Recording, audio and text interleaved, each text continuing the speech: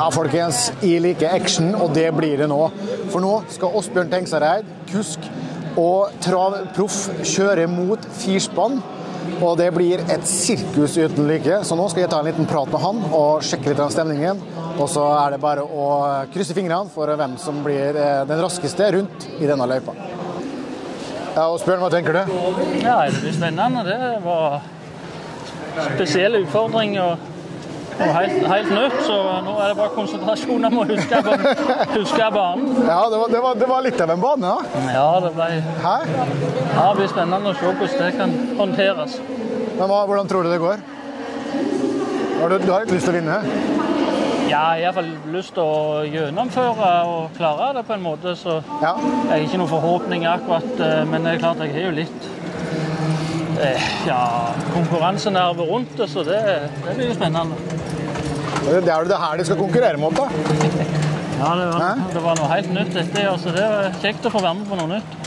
Ja, det her, det her er det kanskje en ny gren på Bjerke neste år? det her. Ja, det spørs vel, men det er jo imponerende. Tror du det blir god stemning? Ja, det høres jo sånn ut, så det er veldig kjekt å få være med på sånn. Hvor nervøs er du fra 1 til 10? Ja, det er nok en 28. Det, det, det kribler litt nå? Ja, dette her var noe helt nytt. og Jeg er jo ikke noe sånn Nei. sånn som så akkurat liker eller passer til dette. Men, så det er litt spesielt for min del. Men uh, vi skal prøve å gjennomføre. Du, Masse lykke til, da. Takk for det. Og hvis det går ordentlig dritt utpå her, så bare lag liv. Ja, helt i orden. Der har startsignalet gått. Han har 45 sekunder på å komme seg over startlinjen. Det tror jeg syns han er ganske nå, egentlig.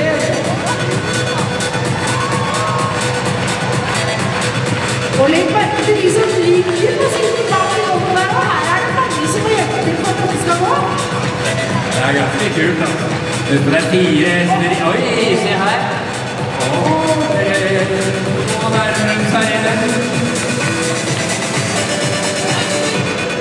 Og inn i maratonindre. Husk at disse kuskene de kjører både maratondressur og presisjonskjøring. Her har vi litt uh, presisjonskjøring og litt maraton. Ja, sånne ting kan jo skje. Ja, det er dyr, det er levende dyr, men jeg syns de løser det utmerket. Hesten står helt rolig.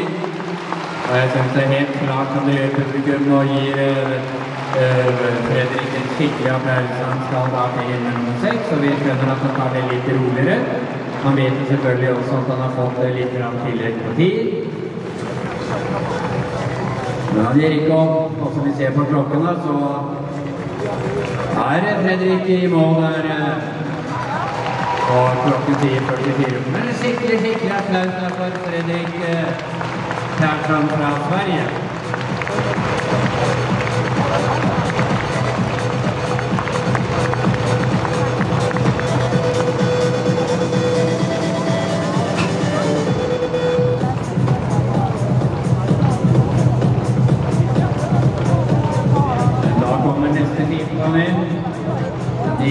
Skipper og der, ja. Der har vi Aksel Olin. Hei, Aksel. Velkommen til Oslo. Du ser at det er skimler Det er samme hårfag som jeg er her, så jeg er også med i skimmelklubben, egentlig. Jeg syns du ble stum, Lisa. Ja, jeg bare Nei, jeg fikk bare et bilde i hodet av hvordan du hadde gjort det foran den hånda. Foran? Ja. Ah. Ja, da får du bare si det sånn. Det hadde i hvert fall gått saktere.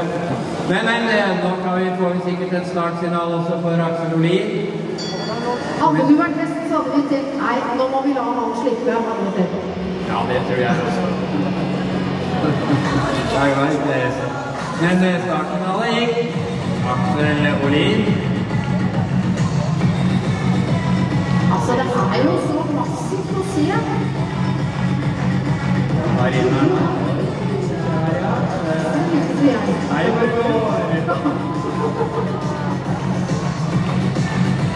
Førstbinder ser ut som de treffer ganske bra. Det er ikke en ball heller. Vinner nummer to. Oi, det var litt sånn midt på. Så der er det litt sånn straffesekunder utover. Så har vi vinner nummer tre. Det går forholdsvis greit. De trodde seg litt vinglete, litt som har følt litt med nå. Så skal de mot oss igjen. Det gikk bra. Og inn i maratonhinder, hvor eh, Fredrik hadde litt problemer. Inn her, og så skal han da Det er Det er jo veldig kratt sving. Det? For å få med seg hele det kostebinderiet der, det er veldig fascinerende å se på. Ja, du og jeg hadde nok klart gå der. Og så er det var superkøl, vet du. Inn nummer seks nummer syv, og så er det rett i mål. Og klokken sier nå 53, 54 56, og stopper på 58-42. 58-42. Nå får vi se da når travresten Hjertnes kommer inn her. Jeg er ikke sikker. Er i hvert fall Der er starten gått, og traveren er i gang. Da ble det fantastisk fort. Husker vi tiden 58 nå?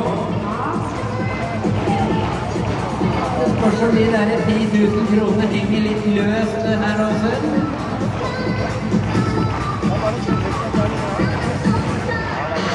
Ingen feil i det hele tatt. Da får vi se hva han husker banen. Jervlesa, hun er godt gående, godt i siger. Her blir man ikke diska for urent trav, så det spiller ingen rolle. Det ser dårlig ut for eh, kuskene våre, altså for firspannen, den gjennom maratonvinnere. På 40 han har 20 sekunder på seg nå. Man skal gjennom siste hinder og bare opp eh,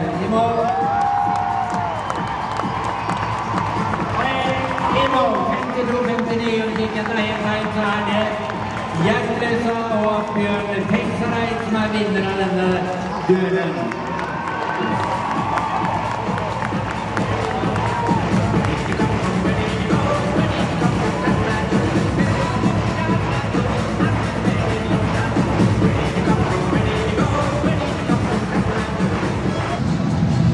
Ja, Åsbjørn.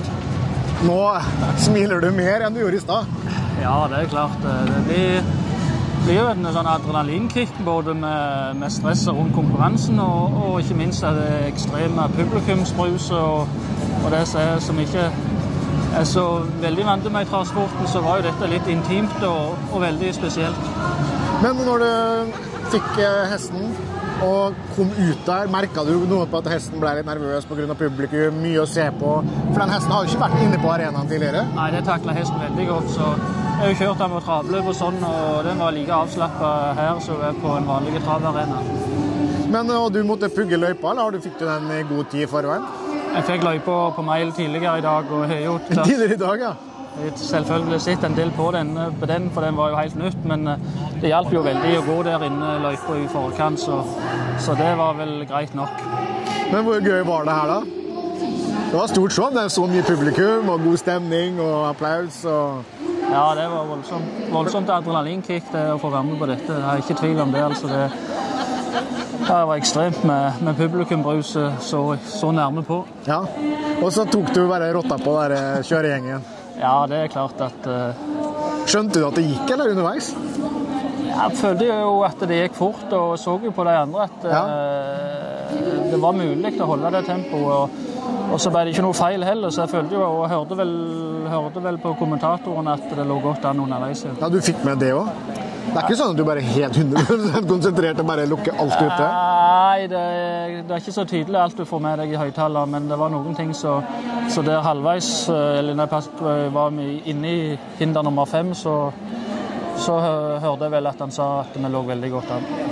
Men når du hører det, er det da, er, da er det kunsten å holde de siste fem, seks, sju inntil mål? Ja, det var jo litt sånn uh, lengde på det fra fem til seks der. og og inn til mål, så da måtte jeg prøve å få litt fart. Ja, for jeg så jo de firspannene, og de hadde, fikk opp farten og de fikk litt tid på seg. Ja, for du var litt i tvil om du klarte å få henne i galopp ja. på de langstrekka der. Men det, du, du, valgte trav hele veien, eller? Ja, det ble noen galoppslag vel i, i, svingen der, så Men uh, det var jo for å klare svingen og treffe hinder òg, så gjaldt. Jeg, jeg, jeg, kunne ikke ha full, jeg kunne ikke ha full uh, full fyr, nei. Hvor vanskelig er det å få en travhest til å galoppere? For, for det, det, du gjør i det daglige, er å omgjøre til nei, du skal ikke galoppere? Ja, det er klart det er veldig individuelt fra traver til traver hvor vanskelig det er. Men, en kaldblods og uten sjekk og, og sånn noe, det er fullt mulig få det i, i galopp som regel.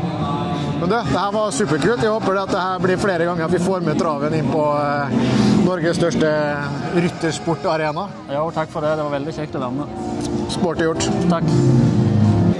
For en opplevelse, folkens! Det ble helt formidabel spenning der ute på arenaen nå i dag. Det var liksom firspan, to firspann. Den ene fikk litt trøbbel, og så kom eh, Åsbjørn Tengsareid, skulle inn. Han eh, sa til meg rett før han gikk inn at han hadde nerver helt opp i skala åtte av ti. Eh, Men han kom ut smilende, hadde vel så lyst inn igjen på banen at han kjørte faktisk inn igjen på banen. Så det her, folkens, det her var helt rått kjørt av eh, Åsbjørn Tengsareid, og vi bare gratulerer travsporten for å ha grusa kjøresporten.